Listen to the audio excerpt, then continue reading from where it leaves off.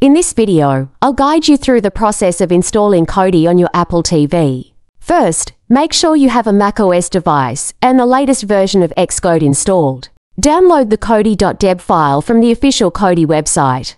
Open Xcode and create a new project, selecting app under the iOS template. Name your project and configure the necessary details before connecting your Apple TV to your Mac via USB-C cable. In Xcode, select your Apple TV as the target device. Use an app like iOS App Signer to convert the Kodi.deb file into an installable IPA file and sign it with your developer account. Go back to Xcode and open the Devices and Simulators menu to upload the IPA file to your Apple TV. Once the installation is complete, Kodi will be installed on your Apple TV and ready to use. If you run into any problems or have questions, leave a comment below and don't forget to like, subscribe, and share for more tutorials.